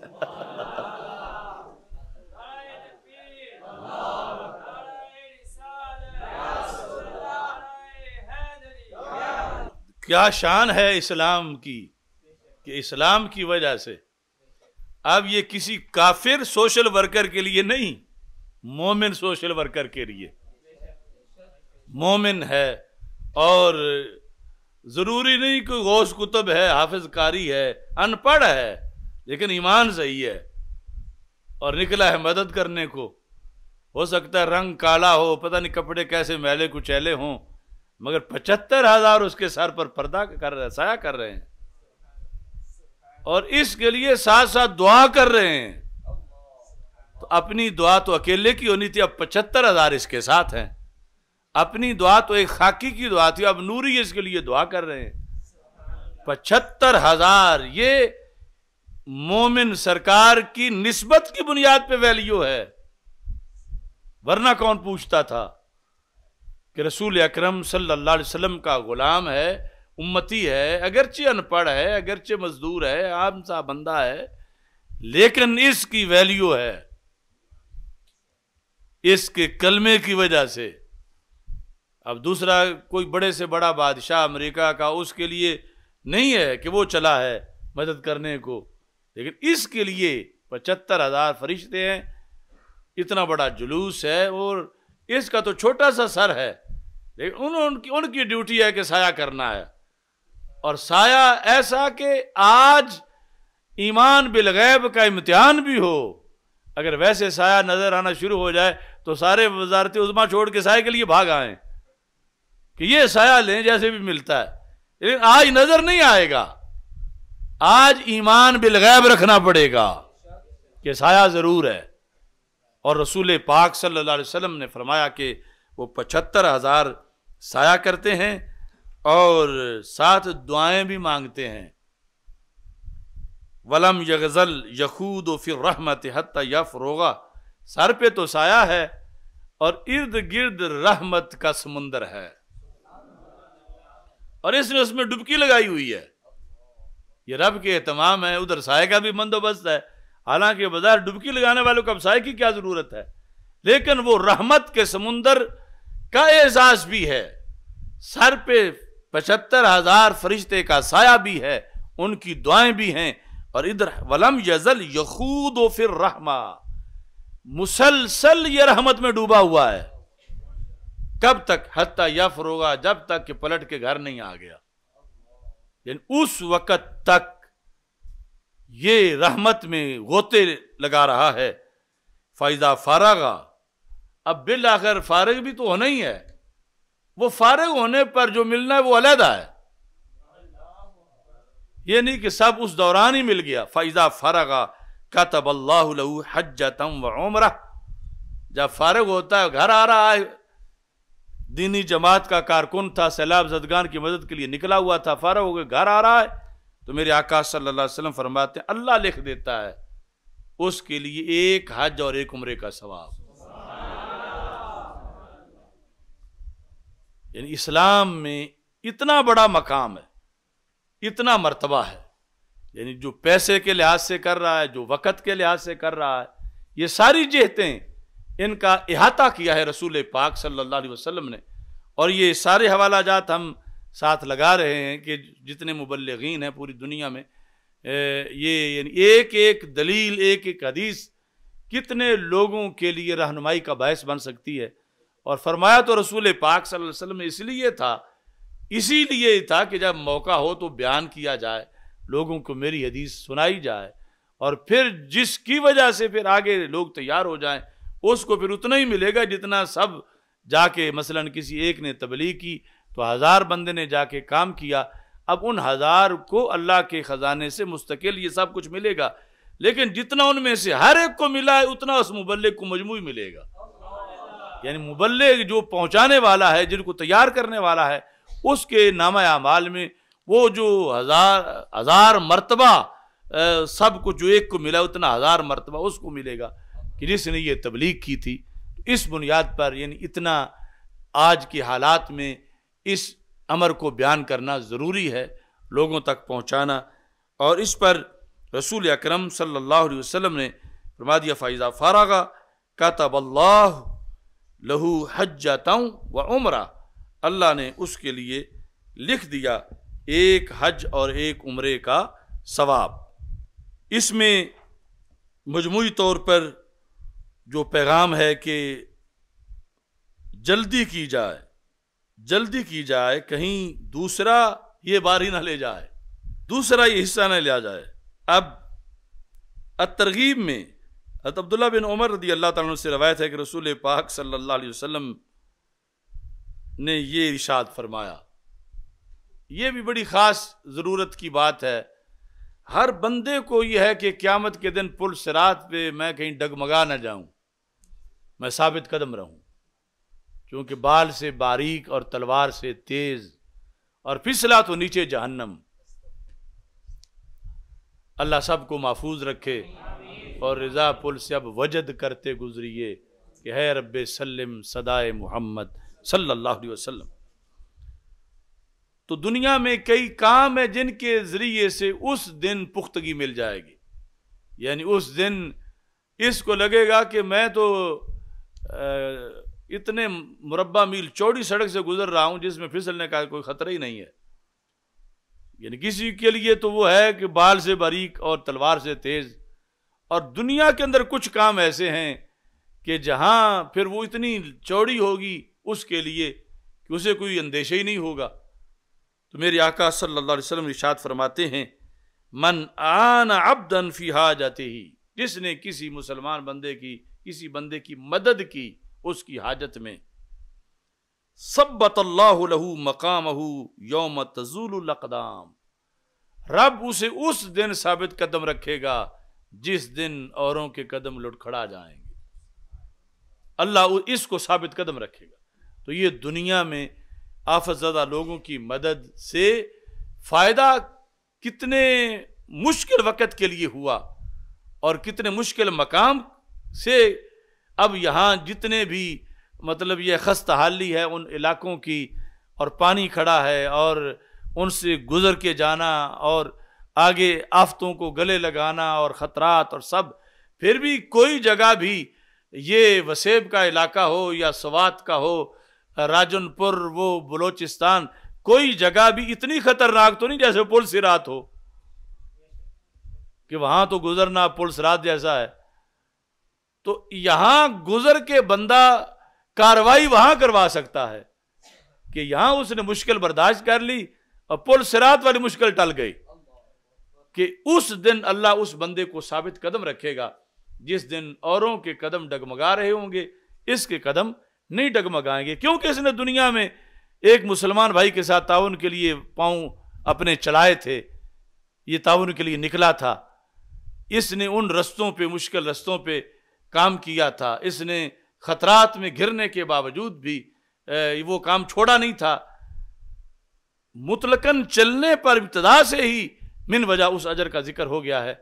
इस बुनियाद पर इस्लाम के अंदर मौजूदा जो सूरत हाल जिसमें हम मौजूद हैं, हमारा मुल्क का दो तिहाई हिस्सा, यानी इस्लाम में ये कितनी रहनुमाई है और क्या कुछ मिलेगा, इन लोगों को जो बचे हुए हैं और इस बचने में इनका अपना कोई ज़ोर बाजू नहीं है। वो हम एक आगे जुमा पढ़ा रहे हैं जिसमें इसका फलसफा होगा कि ये सैलाब क्या है। मिसमैनेजमेंट है, आजमाइश है, आफत है, या आज़ाब है, ये क्या चीज़ है? अगला जुमा इस पर इंशाल्लाह होगा। लेकिन इसके लिहाज से जो मौजूदा सूरत हाल में हमें ताउन करना है और इसमें यानी इब्तदाई तौर पर सबसे पहले पाक फौज ने ये काम शुरू किया और दीगर जो भी ए, सरकारी इदारे कर रहे हैं और बिलखसूस आल सुन्नत की तनजीमत इसमें सर फहरिस्त हैं। हम सबको खराज तहसीन पेश करते हैं और तहरीक सिरात मुस्तकीम तहरीक लब्बैक या रसूल अल्लाह सल्लल्लाहु अलैहि वसल्लम तहरीक लब्बैक इस्लाम अपने दोस्तों को भी इस सिलसिला में ड्यूटियाँ लगा दी गई हैं। जितना भी हो सकता है, यानी ये काम ज़रूर किया जाए और इसको एक फरीजा समझ के इसको निभाया जाए। हज़रत इमाम जाफ़र सादिक का कौल आखिर में पेश करता हूँ। एहयालूम में इमाम गज़ाली रहमत ने लिखा, आप फरमाते हैं, इन्नी लसार इला कदाए हवाए जे आदाई। का अहबाब तो अहबाब रहे मैं अपने दुश्मनों की हाजतें पूरी करने में भी जल्दी करता हूँ। ये सैयद पाक हैं, ये सखी लोग हैं, काला जाफ़र उबन मोहम्मद, ये मोहम्मद है, इमाम मोहम्मद बाकिर। सैदना इमाम जाफ़र सादिक रदी अल्लाह तन हो फरमाते हैं, इन्नी लासाराओ इला कदाए हवाए जे आदाई। मैं अपने दुश्मनों की हाजतें भी पूरी करने की जल्दी करता हूँ। दोस्त तो दोस्त रहे, क्यों? अगली बात बड़ी काबिल गौर है। मखाफत मखाफतन अरुद्दम फयस्तगनु अन्नी। इस डर से कि मैं उनकी अब पूरी ना करूँ, कि कल करूँगा, परसों करूँगा, और कोई और पूरी कर जाए और वो मुझसे बेनियाज हो जाए तो मुझे फिर वो कुछ अल्लाह से ना मिले जो मिलना है। कि वो मेरे गैर से, किसी और से लेके उन्हें फिर मेरी ज़रूरत ही ना रहे मेरी मदद की। मैं दुश्मनों की भी पूरी करता हूँ बहुत जल्द। उनकी हाजत में पूरी करता हूँ कि कहीं ऐसा ना हो कि मैं उनको लौटा दूँ और वो फिर कहीं और चले जाएँगे नतीजा तन और उधर से हो सकता है उनकी पूरी हो जाए तो वो मुझसे बेनियाज हो जाएँगे। और मुझसे बेनियाज होंगे तो उनकी मदद से जो मुझे अजर मिलना था वो नहीं मिलेगा। तो मैं दोस्त तो दोस्त रहे मैं दुश्मनों की जो हाजात हैं, उनको पूरा करने में भी जल्दी करता हूँ। अब इसका इख्तामी सबक जो है वो ये है कि ये इमदाद उम्मत का आज का मौजू इतना तवील हमने बयान किया, सैलाब जदगान की मदद के लिए, और इस पर ज़ोर दे रहे हैं, और देना ज़रूरी है। लेकिन एक सैलाब दूसरा भी है। उसमें जब लोग डूबते हैं और हम उनको बचाने के लिए आवाज़ देते हैं तो हमें तन्हाई महसूस होती है कि बाकी लोग क्यों नहीं दे रहे? इल्ला माशा या फिर कुछ ऐसे हैं कि कुछ सैलाबों पर तो बाकी भी कुछ बोलते हैं, फिर घट जाते हैं, फिर किसी सैलाब पर, फिर मजीद घट जाते हैं। फिर मजीद घटते घटते फिर ऐसा क्यों है? यानी ये जो कुछ अब मदद है, इसकी तो फजीलत बयान कर दी। और लाजमी भी है। एक सैलाब इस मुल्क में न्यू वर्ल्ड आर्डर का है अमरीकी निज़ाम का है। उसमें क्या थोड़े लोग डूबे हुए हैं? एक सैलाब करप्शन का है। एक सैलाब इस मुल्क में सूदखोरी का है। क्या थोड़े लोग उसमें डूबे हुए हैं? एक सैलाब और यानी फुहाशी का है, बेहयाई का है। इलाकों के इलाके, घरों के घर डूबे हुए हैं। और एक सैलाब फिर सबसे मुश्किल और सख्त बद एतकादी का है। अब तो बस्तियाँ डूबी हैं, उसमें कई हस्तियाँ डूबी हैं। बड़ी बड़ी बस्तियाँ डूब गईं और उधर बड़ी बड़ी हस्तियाँ डूब गईं। इधर भी पुल टूटे, उधर भी बड़े बड़े पुल टूटे। इधर भी प्लाजे गिरे, बुर्ज गिरे, उधर भी बड़े बड़े बुर्ज गिरे। फ़र्क यह है कि वो सैलाब आम आँखों को नज़र नहीं आता। और बताने से भी यकीन घट लोगों को होता है कि आया हुआ है। और उसमें मदद इसके मुकाबले में हज़ार मरतबा मुश्किल है। आज इस मदद की कोई अपोजिशन नहीं। ये मदद तो गैर मुस्लिम भी कर रहे हैं बैरून मुल्क से कि फलां मुल्क ने इतने पैसे भेज दिए, फलां इतने भेज दिए, फलां इतने भेज दिए। फिर मजहबी तनजीमों के अलावा दूसरी तनजीमें भी कर रही हैं। फिर कोई रुकावट नहीं कि तुम क्यों डूबतों के बचा रहे हो? तुम पे एफ़ आई आर कटेगी। बल्कि तासीन है कि ट्रकों के ट्रक फलाने भेजे अच्छा किया है। तासीन हो रही है और होनी चाहिए। लेकिन वो जब मदद करोगे तो कई डबोने वाले मुकाबले में खड़े होंगे। शैतान के साथी के, तुम तो हमारे किए हुए पे पानी फेरना चाहते हो। हम डबोना चाहते हो, तुम बचाना चाहते हो। उस में खुद जो डूब रहा है, हो सकता है वो भी तुम्हारा दुश्मन बने। जो खुद डूबा हुआ हुआ है और तुम बचाना चाहते हो कि जन्म में जाओगे, हाथ पकड़ो, ये बद एतकादी में डूब गया है। पकड़ो पकड़ो इसको। हो सकता है से वो गाली निकाले कि मुझे डूबने दो, मुझे तो उसका शौक है, क्योंकि उसको पता ही नहीं कि डूबने से क्या हो रहा है। उसको यही पता नहीं कि वो डूब रहा है। उसको तुम डूबता देख के हाथ डालो, वो तुम्हारा बाजू काट दे आगे से। वो मदद मुश्किल है। और वो हर एक के बस की बात नहीं। उस मदद का भी सोचा जाए। अहले सुन्नत के नगर में वो सैलाब आया बाद एतकादी का। बड़े बड़े आस्थाने डूबे बड़े बड़े घराने डूबे बड़े बड़े मदारस डूबे बड़े बड़े मुफ्ती डूबे बड़े बड़े खतीब डूबे बड़े बड़े पीर डूबे। ये तक कहने को कोई तैयार नहीं कि सैलाब आया है, बचाना तो बाद की बात है। मुश्किल तो ये है। वाह नाकामी, मताए कारवान जाता रहा। कारवां के दिल से एहसास यहाँ जाता रहा। खुद डूबने वालों को ये नहीं कि ये बंदा हमें बचा रहा है, चलो इसकी बात तो सुन लो, वो आगे से पत्थर मारते हैं, बचाने वाले को। इतना शौक है डूबने का, क्यों पता नहीं कि उस सैलाब की हलाकतें क्या हैं, वो क्यामत के दिन पता चलेगा। इस बुनियाद पर, आज हम तो इस मौका पर, अब ये जो कुछ पेश कर रहे हैं तहदीस नमत के तौर पर कह रहा हूँ, इस वक़्त के सारे ओलमा के खुतबे आज के चेक कर लो। उन्होंने इस वक़्त आफत ज़दा लोगों की मदद के लिए क्या क्या दलाल पेश की यानी जो तकाजा है कुरान सुन्नत से एक आलिम का कि रहनुमाई करे, माशरे की। हम किसी से मुकाबला नहीं चाहते, लेकिन आखिर एक सर्वे तो करना चाहिए। हम तो इस सैलाब में भी यूँ कमर बसता है।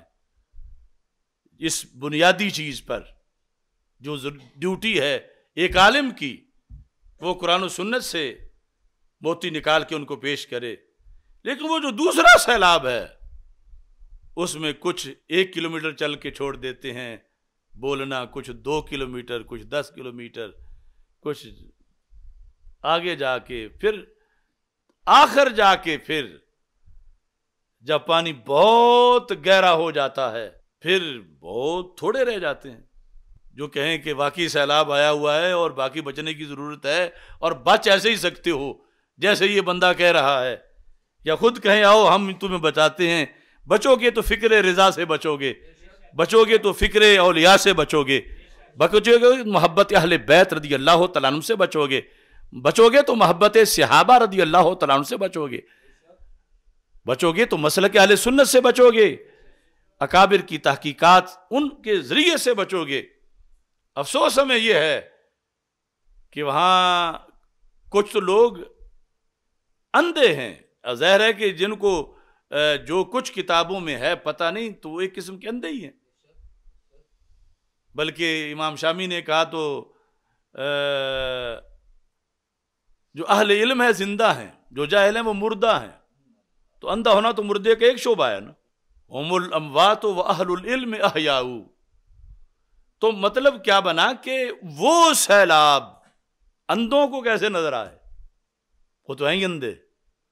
नज़र आना है ओलमा को। और ओला ओलमा अंधों की तरह बन जाएँ।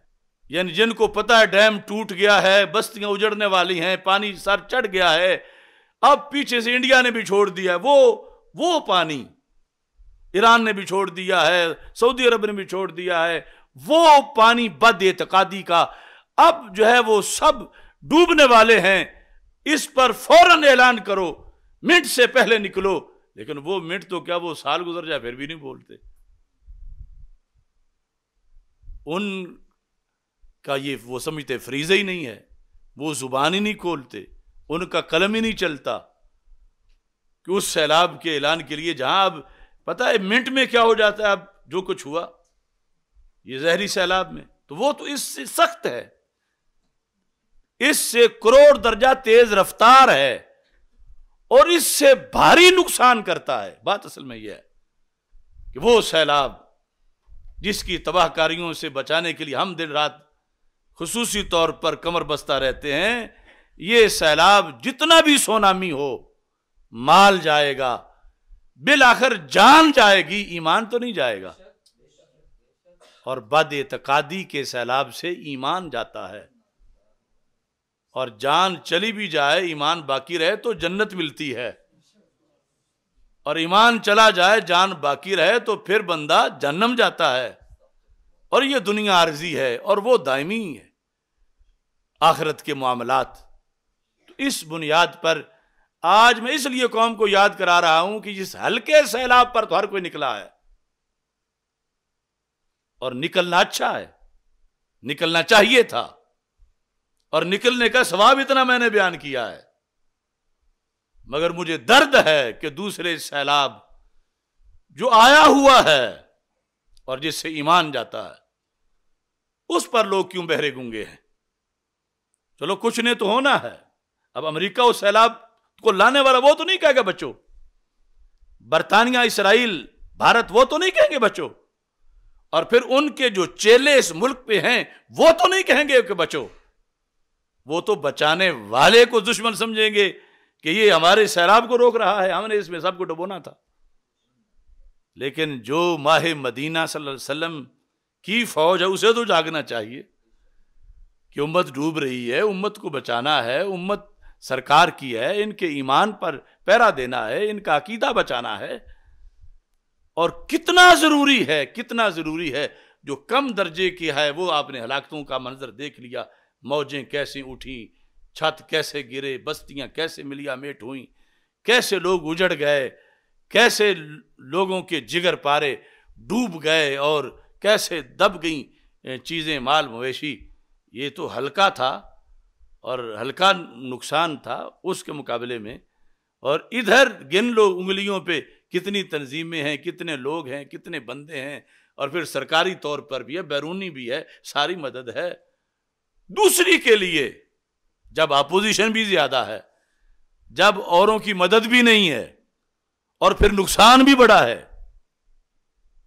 तो उस सैलाब पर भी तो बोलना चाहिए, जो घर घर में आया हुआ है। और घर घर में जिगर पारे डूब रहे हैं और घर घर में मताए गिरा माया उम्मत की बर्बाद हो रही है। चौदह सदियों के अकीदे और नज़रिए को डैमेज किया जा रहा है। और इस बेस पर फिर है, हम अपनी तारीफ़ नहीं चाहते, लेकिन ये तवज्जो चाहते हैं। कौम की तवज्जो किस तरफ़ कि बड़ा काम कौन सा है? और बड़े काम की तरफ़ करने वाले कितने हैं, उनकी तादाद कितनी है? और कितना तकाजा है कि और हों? कितना तकाजा है कि कौम जागे, कि जो सैलाब को सैलाब समझ ही नहीं रही? और उल्टा जिन्होंने बंद तोड़े हैं, उनके साथ बैठते हैं। और जो बंद बाँध रहे हैं, और ये बेचारगी है कि इधर से बांधते हैं, उधर टूट जाता है, उधर बांधते हैं, उधर टूट जाता है। पचास जगह बांधते हैं, सौ जगह टूट जाता है, सौ जगह बांधते हैं, हज़ार जगह टूट जाता है। और दिन रात फिर फ़ोन आ रहे हैं, फलां जगह भी टूट गया, फलां भी टूट गया, फलां दरबार उजड़ गया, फलां आस्थाना उजड़ गया, फलां मदरसा, उसका मोहतमिम बह गया, फलां पीर के सबजादे बह गए। दीन तो इन क्यामत तक रहना है। लई यजाल अमर हाजिल उम्मत मुस्तकीमा। ये बुखारी शरीफ में मेरे आकाम का फरमान है ताकीद के साथ क्यामत तक इस उम्मत का अमर मुस्तकीम रहेगा। लेकिन साथ ही तूफानों का भी ज़िक्र किया। लल फ़क्र असरा इलामहिबोनी मिन सैल इला मुनतहा हो आज जब तुम वीडियो देखते हो सोशल मीडिया पर, तेज़ी से, गोली से तेज़ जाता पानी तो डरते हो। तो सरकार दो आलम सल्लल्लाहु ने चौदह सदियाँ पहले फरमाया था फरमाया, मेरी उम्मत की तरफ़ आजमाइशें और इम्तिहान। फरमाया, उतनी तेज़ी से सैलाब का पानी बुलंद जगह से डलवान की तरफ़ उतनी तेज़ी से नहीं जाता, जितनी तेज़ी से इम्तिहान मेरी उम्मती की तरफ़ आता और फितना मेरी उम्मती की तरफ़ आता। लल फक्र असराओ इला मई युहिब्बोनी अरे मेरा आशिक यह ना समझे कि चादर तान के सो जाना है। लल फक्र असराओ इला मई युहिब्बोनी, मिनस सही इला मुंतहा हो। फरमाया जो तूफ़ान है सैलाब, जो उसका मुंतहा है ज़मीन पर सबसे गहरी जगह इन समुंदर, उसकी तरफ़ वो इतना तेज़ी से रेला नहीं जा रहा, जितनी तेज़ी से मेरे मुहिब से टकराता है। तो मैंने ये सैलाब की जो गुफ्तगु की तो ये सरकार दो आलम सल्लल्लाहु अलैहि वसल्लम ने भी इन फितरों के लिए इस्तेमाल किया कि बद एतकादी और बेहयाई और ये भी एक सैलाब है। अरे वो थोड़ा तेज चलता है, ये ज़्यादा तेज चलता है। तो हमें उससे बचाव भी दरकार है, लेकिन इससे ज़्यादा दरकार है, क्योंकि वो सिर्फ़ जान लेवा है और दूसरा ईमान लेवा है। और जान और ईमान के मुकाबले में ज़्यादा वैल्यू ईमान की है। कि ईमान के लिए जान तो कुर्बान की जा सकती है, मगर जान के लिए माजल्ला ईमान कुर्बान इस वास्ते बेदारी की ज़रूरत है। ये एक झलक है उस बेदारी के लिए कि जहरी सैलाब तुमने देखा। हदीस कहती है, इससे तेज़ और वो सदियाँ गुजर रही हैं जिसमें वो तेज़ी की खबर दी थी हमारे आका सल्लल्लाहु अलैहि वसल्लम ने। रबुल जलाल, जितने भी लोग इस सैलाब में जहाँ भक हुए, उन्हें बुलंद मकाम अता फरमाए। और जितने भी लोग उनके लिए मेहनत कर रहे हैं, तंजीमें कोशिश कर रही हैं, अल्लाह सबको अजर अजीम अता फरमाए। और वो जो गैर मरी सैलाब है गैर महसूस बद एतकादी का, बेहयाई का सूद खोरी का, अमरीकी निज़ाम का, अल्लाह उसके मुकाबले में इस उम्मत को बेदारी अता फरमाए। वाखिर दावा अनिलहमदिल्ला रबालमी